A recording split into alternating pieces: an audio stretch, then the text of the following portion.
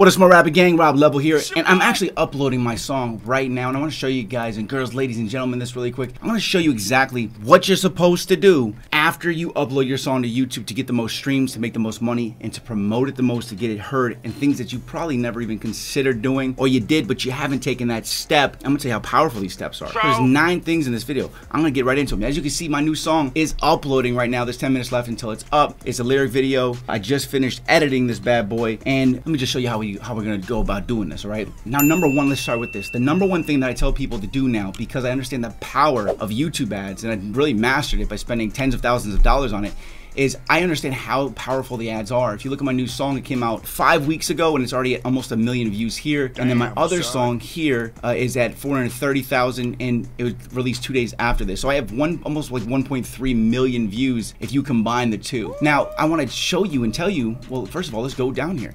Let me tell you how powerful these are. If we go in here, all right, so if I if I search on this page for ad, so if you search the page for the word ad, you're gonna see a lot of people saying, I got this as an ad, and I listened through the whole thing, decided to click. I found this as a YouTube ad, and I've been vibing ever since. An ad brought me here. I stopped my video and clicked on this. It was not a mistake. This is truly inspiring, Rob. Okay, I saw this as an ad. I finished the ad. He clicked to it. I saw this as an ad. I'm actually glad I've seen this. Ads work if you have good music. He ain't lying. So let's talk about this really quick. I want you to understand the power in running ads because you can get two views for a single penny, meaning you can get upwards of 200 views for $1. Okay? So what I'm going to leave you with for this is your video that you upload has to, first and foremost, before you even upload it, has to be made like you're going to run it as a YouTube ad so you always can. That means no cussing, not too much nudity, stuff like that. And also making sure that the song starts at a point where the person won't have to listen for more than five seconds before they can click to it because they'll already be bored. So you kind of just need to get into it. Even if you cut out the beginning, that's fine. On Spotify and everywhere else, it'll play the full length, right? So either way, I just want to let you know that. So I'll show you exactly what I'm talking about here. I'll, I'll open the video up for you and you'll notice right here exactly what's going on okay all right so what i'm going to do is i'm going to play this for you really quick and you're going to see i actually cut out the beginning to get right into the song just goes boom right into the song boom they be asking me like rob how'd you make it high Okay, so I immediately, before, this is like an extra five or six seconds to really get the person into the vibe, but I cut that out because I know that it's gonna really pull the person's attention. So that's number one. Let's keep going through this though. Number two, the thing you need to do right after or right before you actually upload this to YouTube. Now bear in mind, the reason we do this is so you can get the most people to the video, get the most views, and really, you know, there's a reason I got 1.3 million views, and I didn't spend nearly as much money as you think I did, okay? You just have to know how to run them. I have a YouTube ads masterclass where I show you how to get two views for a penny, 200 views for a dollar, all this stuff all the secrets that I've learned. Now, I'm going to put a link to that masterclass right. below this video, but let's keep going because there's a lot of other really, really, really good tricks you need to know. Number two, and often people know to do this, but they don't do it, but it's super important, and that is creating a snippet for your song that you can post on Instagram, post it on Facebook. Reason being is you're able to drive traffic to all the streaming platforms. This is going to make you the most amount of money that you possibly can. So what I did is I made three different snippets of different parts of the song that may capture somebody's attention. And what's beautiful is because it's a lyric video, lyrics are already on screen. If somebody's scrolling on Facebook, scrolling on Instagram, they don't have the sound on, they can read the lyrics and the visuals pop out, which pulls them in, makes them engage, makes them go to the link. So let me show you this real quick. So I made this. I used the artwork for the song, okay? And I put a banner on the top and just made it look really good. So this is one of the three Instagram snippets that I made that I'm gonna post throughout this week to drive people to the song on other streaming platforms to make money, okay? Made this song for you, so you know. I ain't even started. Shit on my to-do. I'm just about to flex. Right? So it, it's very simple. And then the other ones do other parts of the song. So. on my cries. I've been a man all switch, defending plenty plans on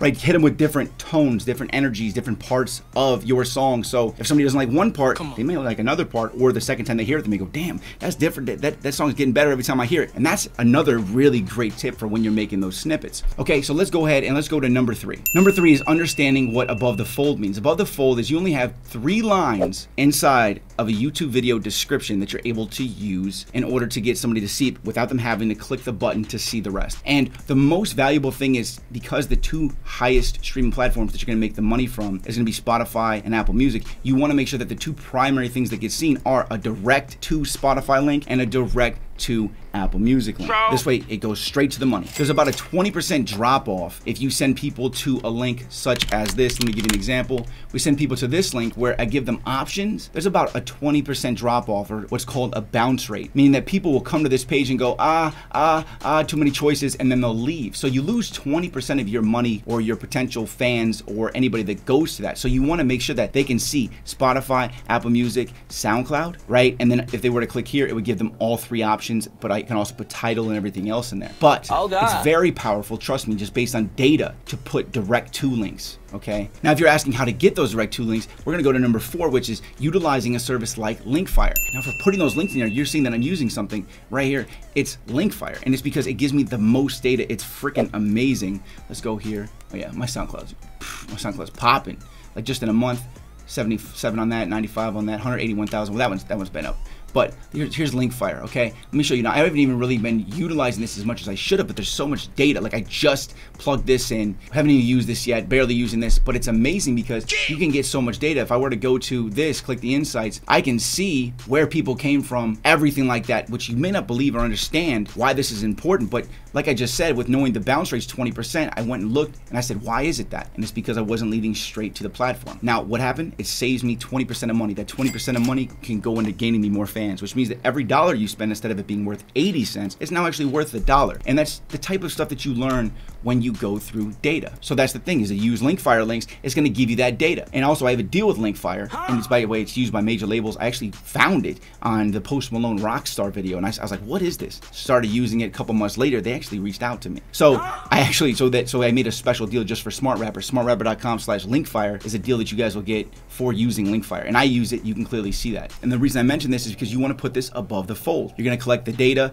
In addition to that, it also allows you to retarget them because you can put pixels into these. So if people were to click that, you can save them with a Facebook pixel, you can target them with other pixels. And later, let's say you get a thousand people click that link, you can put them on the list, retarget, and put your new song to those people, all because they clicked your link. That's the power in this, is you can retarget. You don't really lose a fan, right? Because just because they clicked doesn't mean they went and followed you, but you have their data now, you can target them. Plus it gives you other data, like where they live, the device they were using, all kinds of stuff. I mean, so you can really help base yourself on retargeting and geographical locations, knowing where to tour, all kinds of stuff. Number five that's massively valuable that you need to understand is the actual thumbnail. And if you look here, what I did is I made six different thumbnail choices for myself from the lyric video to decide which one is going to be the best and be the most capable for getting clicked when people search it or when I run it as a YouTube discovery ad, which is where when the video pops up like top right or on the right sidebar, I want to make sure it's going to get clicked the most. So I need to choose the one that's the best. So what I did is I posted these on Instagram. I said, which one should be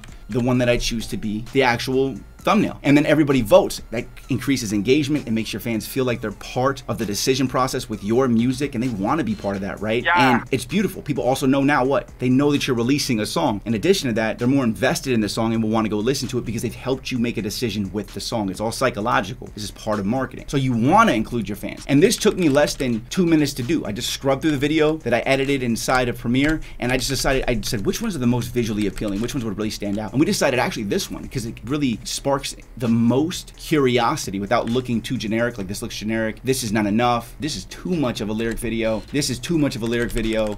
This is really cool, but when it's really shrunk down, you might not be able to see it's an hourglass. So we went with this one. And people voted for this one as well. So it was like between one, two, and six right? So, or six. This was this one. This one was the six.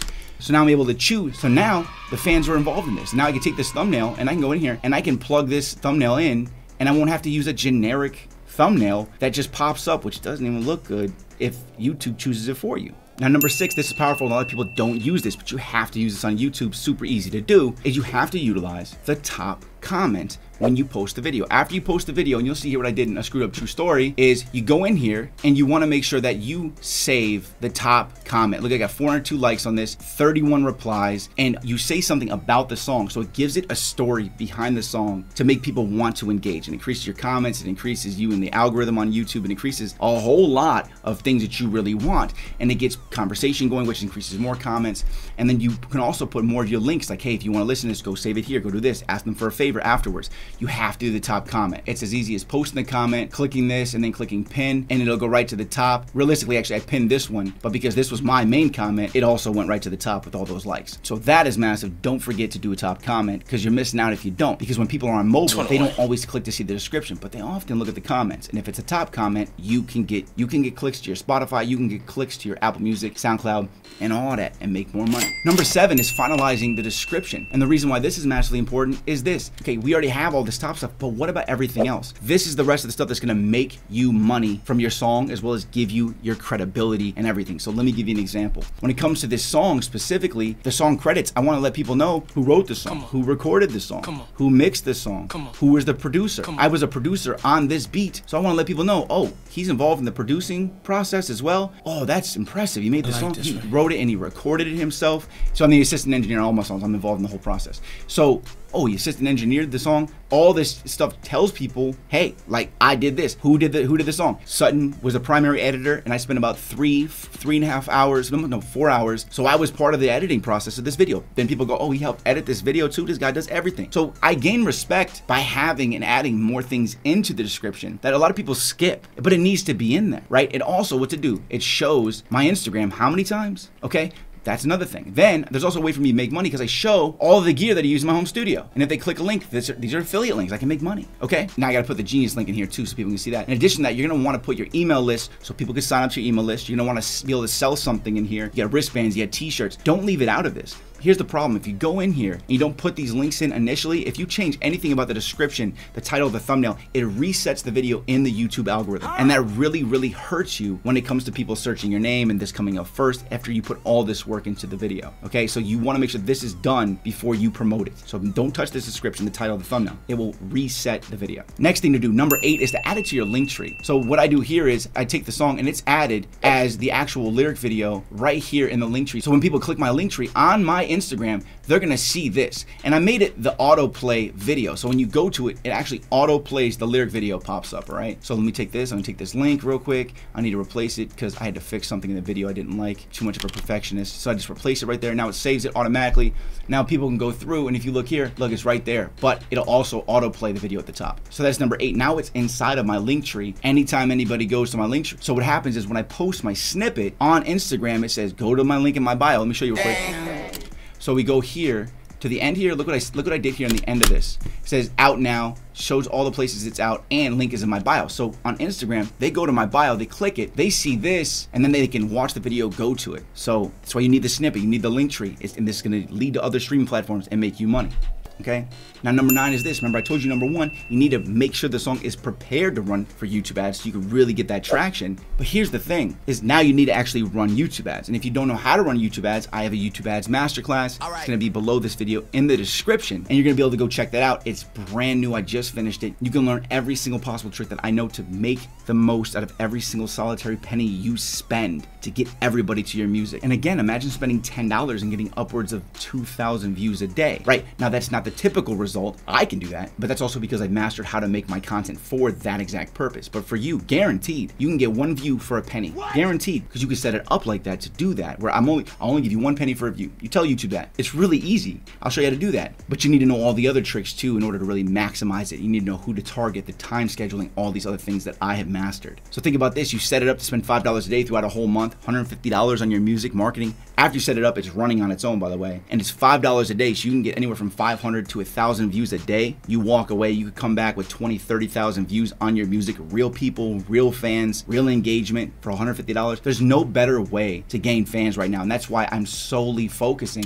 I have not done any other marketing for these songs, and I have 1.3 million views on these two songs. I've done no other marketing but YouTube ads. Almost 300,000 of these views are for my fans and everybody else coming in who's becoming fans. And if you look at my channel dashboard, I've gained 6,000 new subscribers in the last 28 days. That's because of running YouTube ads for the last 30 days. And the ad spend was not that crazy. It really wasn't. So you can be doing this, and I'm telling you guys, look at this, 430,000 here. You just need to let me show you how to do it. So go in the description and I'll show you how to set up your YouTube ads. So there's the things. Those are the nine things you need to know, right? So I'll go back over them with you really quick. And actually, let's put them on the screen here for you.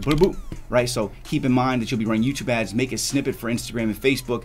Think about it, your links being above the fold. So think about using Linkfire for those links to put above the fold, which you see that I use. And you can get a deal on that, smartrapper.com slash linkfire, okay? Next is the thumbnails. Utilize your thumbnails to get your audience involved and see which one they like the most. Next, number six, utilize the top comment to drive traffic. Number seven, finalize the description to make money, show your credentials, show your hustle. Number eight, add it to your link tree for Instagram. And then number nine is run YouTube ads. And if you don't know number nine, you need to learn number nine. It's not that hard. Also, I'll give you guys $150 in Google Ads credit that you can use. Obviously, Google Ads, same thing as YouTube. I give you that when you get my masterclass. So you get $150 to immediately spend on your music as soon as you get my YouTube Ads Masterclass. So click the link below this video. All right. Go check out my brand new YouTube Ads Masterclass. You're gonna love it. Okay. Well, I hope these things helped you guys out because so I do it. As I do it, I show you how to do exactly what I'm doing, right? I'm not just somebody saying you should do this. I'm doing it and I'm watching it work. I'm the only person on YouTube who's actually an artist testing and utilizing these things to better myself. As I learn, I teach you.